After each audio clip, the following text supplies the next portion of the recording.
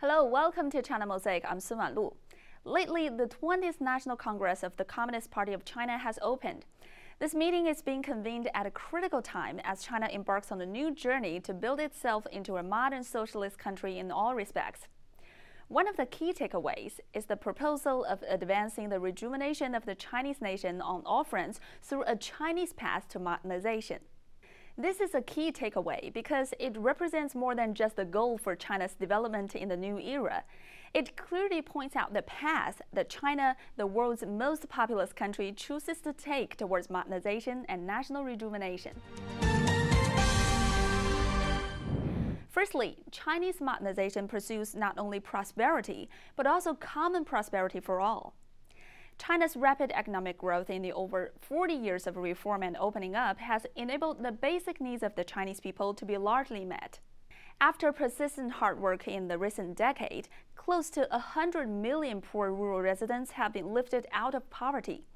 The issue of absolute poverty in China has been once and for all resolved, and the dream of building a moderately prosperous society has been achieved. The report to the Congress has once again highlighted the importance of advancing rural revitalization across the board improving the system of income distribution, implementing the employment first strategy, and improving the social security system, including elderly care, medical care, and housing, so as to substantially grow the middle income group as a share of the total population, guarantee equitable access to basic public services, and ensure modern living standards of living in rural areas by 2035. China has included the pursuit of common prosperity for all in its journey of modernization. Secondly, Chinese modernization is one of material and cultural ethical advancement of harmony between humanity and nature. In the past, Western style modernization has long shared the definition of economic growth. China, however, pursues significant increase in economic strength, scientific and technological strength, and comprehensive national strength, while stressing the importance of advancing the Beautiful China initiative, accelerating the transition to a model of green development, and working actively and prudently toward the goals of reaching peak carbon emissions and carbon neutrality.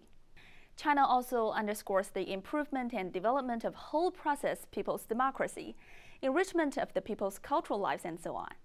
The path China chooses is one of more comprehensive, sustainable, and high quality development. What's more, China does not achieve modernization through colonization or invasion, nor will it seek hegemony or expansion in the future. Chinese modernization is one of peaceful development. In my opinion, the core lies in openness, cooperation, and sharing.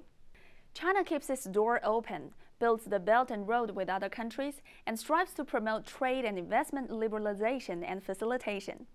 It is committed to supporting and assisting other developing countries in accelerating development and to building a human community with a shared future. The modernization process of China is also part of the journey of humanity's common progress and development. For centuries, countries all around the world have been exploring and striving for modernization building China into a great modern socialist country in all respects and realizing the rejuvenation of the Chinese nation is a wish of the Chinese people. China's path to modernization featuring common prosperity and all-round coordinated and peaceful development creates a new form of human advancement, which will contribute to building an even better world. Thank you for watching.